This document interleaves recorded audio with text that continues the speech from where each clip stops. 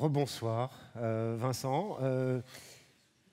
on y est, hein. on a dévoilé neuf des dix trophées de cette sixième édition des, trophées de l'agriculture de, Côte d'Or. Qu'est-ce qui vous a marqué ce soir? Ce que je retiens de la soirée, c'est que j'ai vu beaucoup de sourires sur la scène. Et je pense qu'ils sont quand même pas que de façade. Euh, il y avait vraiment des choses qui sont passées derrière. Hein. En témoignent euh, notamment les derniers trophées qu'on a vus, parce que c'est, on retient plus facilement les derniers que les premiers. Mais euh, je trouve que l'opération de communication, si c'est ça qu'on souhaite faire aussi, ben, elle est complètement réussie. C'est important de le faire. on en parlait avec lui à l'instant. Et voilà, des, des, gens qui ont des vraies convictions, qui les mettent en œuvre, qui vont au bout de leur projet. Et qu'est-ce qu'on peut faire de mieux que ça?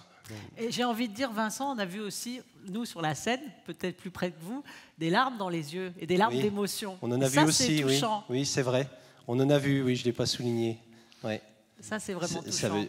Et ça veut dire quand même que quand on est agriculteur, quand on arrive un petit peu au terme de, de son, son activité, le fait de pouvoir transmettre et en famille, c'est quelque chose qui est encore plus fort que quand on transmet à un étranger parce que bah, tout le monde n'a pas la possibilité aussi d'effectuer. Et puis on a réussi quelque chose aussi. Oui, enfin, quelque chose en plus. Oui, parce qu'il y a quand même une forme d'attachement euh, à la terre. Euh, oui, même quand on est allé dans l'esthétisme, on revient au vin, quoi. Mm. ça s'appelle la cerise sur le Pauline. gâteau, cherry on the cake. Euh, on va remettre le, coup de cœur. Dans un instant, vous le dévoilez tout de suite. C'est quoi le coup de cœur d'un jury euh, comme celui de, cette soirée Un coup de cœur, c'est pratiquement quelqu'un qui répond à tous les objectifs qu'on poursuit avec les trophées. Ok. Hein, et voilà. Il aurait, le coup de cœur aujourd'hui, il aurait pu concourir à nombre d'autres trophées. D'accord. Voilà, on, le découvre de du coup alors Ah bah oui, il faut Allez, le c'est parti. On va y passer la nuit. Alors, coup de cœur de cette sixième édition. aussi, mais on va y passer la nuit, mais après, parce qu'il y a un cocktail hein, quand même. Mais hein. pas sur la scène. Voilà. Alors, le lauréat pour cette année est la ferme Fruits Rouges. Bravo. La famille Olivier.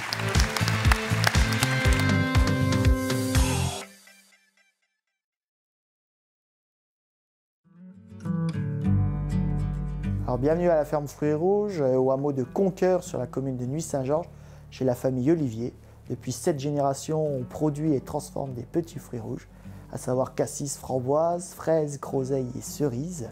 C'est nos parents qui, en 95, ont fait le choix de la transformation avec la création de l'identité Ferme Fruits Rouges.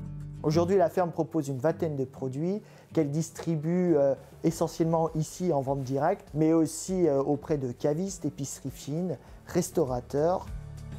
Aujourd'hui, à la ferme, vous trouvez le cassis sous toutes ses formes, à savoir le bourgeon, la feuille et le fruit. Et demain, qui sait, peut-être une nouvelle forme.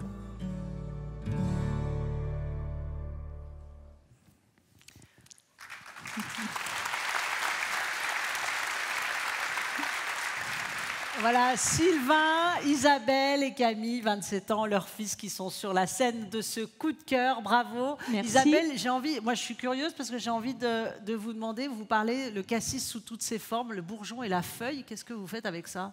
Alors avec le bourgeon, on va faire du poivre de cassis ou de la vodka au cassis. Ah et avec la feuille, on va faire un hydrolat de cassis, c'est-à-dire une eau florale. Il euh, ne faut pas oublier que le cassis, il nous a été amené fin 13e par les cisterciens.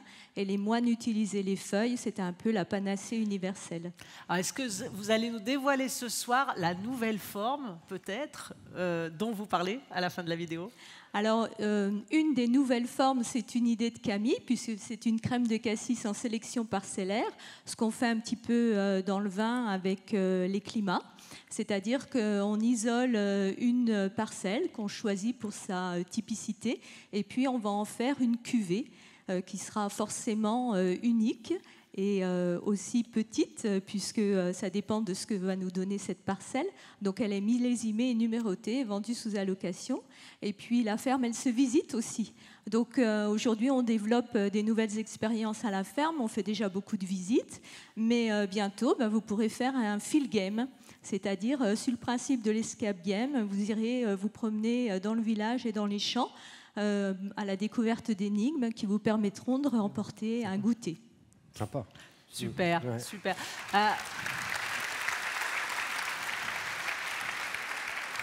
Isabelle, vous avez transmis euh, avec Sylvain à vos deux enfants l'amour, l'amour du cassis, cette passion dans laquelle euh, vous êtes, euh, vous êtes tombée vous-même. qu'est-ce qu'ils apportent, eux, cette, nouvelle génération? Qu'est-ce que Camille apporte à l'entreprise? Bah, Il apporte beaucoup de choses, déjà beaucoup de joie, beaucoup de bonheur. Et puis ce trophée, de toute façon, il est pour Camille. Et donc je voulais partager avec vous mon émotion, c'est-à-dire que travailler avec mon fils, c'est le connaître autrement, comme peu de mamans connaissent leur enfant parce que travailler avec lui, c'est partager un autre lien, un lien tout particulier. C'est partager euh, le bonheur que nous avons à travailler ensemble avec son frère, avec son papa. Et euh, c'est partager un autre amour, un amour spécial, celui de notre travail. Donc c'est un supplément d'âme qui nous lie et qui nous relie à notre terre-mère. Bravo.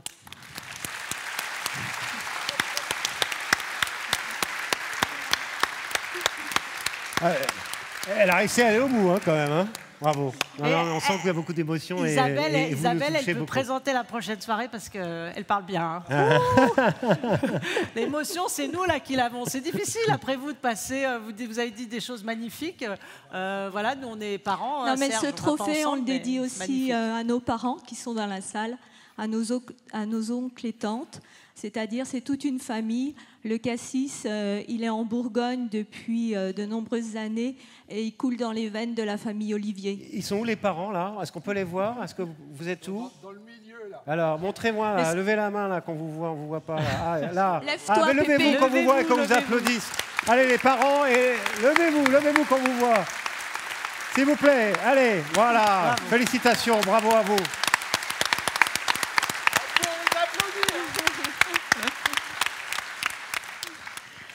Merci beaucoup, merci beaucoup Isabelle, Sylvain, Camille. Je vous laisse, euh, Vincent, euh, pas facile, hein Oui, effectivement, mais je vais essayer quand même d'être à la hauteur. Euh, moi, ce qui m'intéresse dans votre démarche, c'est que c'est une démarche complète qui date pas d'aujourd'hui, parce qu'elle a bientôt 30 ans, et qu'elle est vraiment en lien avec le territoire où, elle est exercée. Il y a un vrai lien au terroir. Isabelle en a parlé parce qu'il pousse les choses pratiquement jusqu'au bout en identifiant les parcelles qui produisent tel ou tel cassis. Et c'est comme ça aussi qu'on trouvera des solutions pour continuer à faire vivre nos territoires, même les plus difficiles. Et vous n'êtes quand même pas dans le territoire le plus facile du département. Bravo à vous. Merci Félicitations. On vous laisse prendre une petite photo ensemble. Vous restez avec nous Allez-y, prenez votre petite photo.